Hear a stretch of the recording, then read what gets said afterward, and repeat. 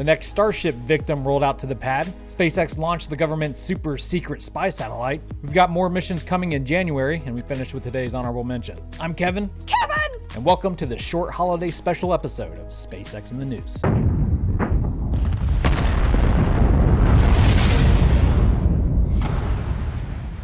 Yesterday, SpaceX released a recap video of Starship serial number 8's 12 and a half click flight from some new angles and vantage points, and some in slow mo, producing that dramatic effect that will give anyone with a pulse a reason to keep their pulse pulsing. I'm feeling. And just check out this panoramic shot. Goosebumps. Ending with an explosion to literally knock your socks off. The pad has since been mostly cleared of debris. The next Starship to land on it, or crater into it, will be SN9. After its Leaning Tower of Pisa impression, the damaged canard fin was replaced with a transplant donated from SN10's nose cone. Then, just a couple days ago, SN9 was transported down Highway 4 to SpaceX's second launch pad. So, Merry Christmas, rocket nerds. Santa delivered early this year.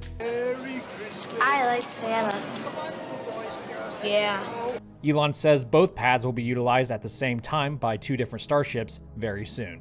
Can we just take a minute and appreciate how fast the pace is going with production? I mean, I'm curious if SpaceX employees have to attend Magic Camp because they're making things disappear and reappear at a sorcerer's level. After all, Elon does say engineering is magic made real. Oh.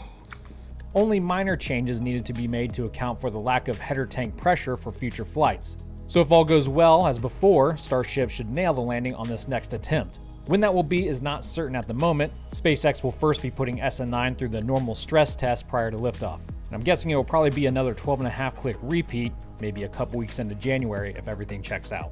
But even though steel isn't flying through the air, whether intentionally or unintentionally, doesn't mean progress isn't being made.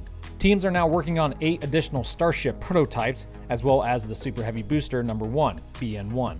Most of its hull rings are stacked into segments, and soon enough will be joined together vertically. However, the boss says it will be a few months before you see that steel statue fly. Yeah, statue. Before the Super Heavy booster can be tested, the FAA must first complete a new environmental assessment of the Boca Chica area, since SpaceX is only authorized to perform Starship activities with their current license.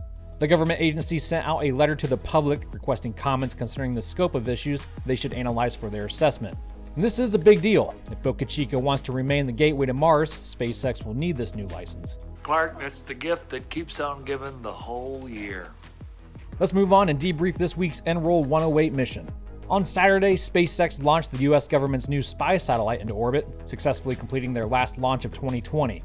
What was really special about this mission, however, was the ground tracking of the booster and its subsequent coastal landing, coming in hot, like Harry with his hair on fire.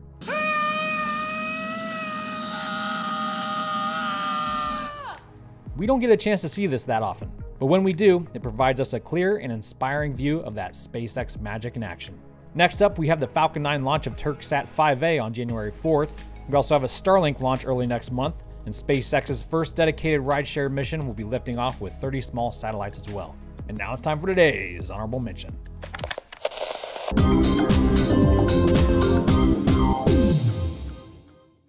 The first commercial airlock that was taken up to the space station on SpaceX's last Dragon mission, CRS 21, has been berthed to the ISS. NanoRacks, a Houston based aerospace company, built the airlock, named Bishop, to deploy payloads like experiments and satellites up to the size of a refrigerator from the station. It also allows payloads to be attached to its exterior, which can be used to store tools during spacewalks. There are three other airlocks currently in operation, but two are for astronauts going out and coming in on EVAs, and the other is built by Japan and can only handle payloads up to the size of a microwave. Well, that's all I have for you guys today. Thank you, Xcentric members and patrons, for supporting the channel. Everyone, be sure to have a Merry Christmas and a Terminal New Year. And until 2021, Godspeed.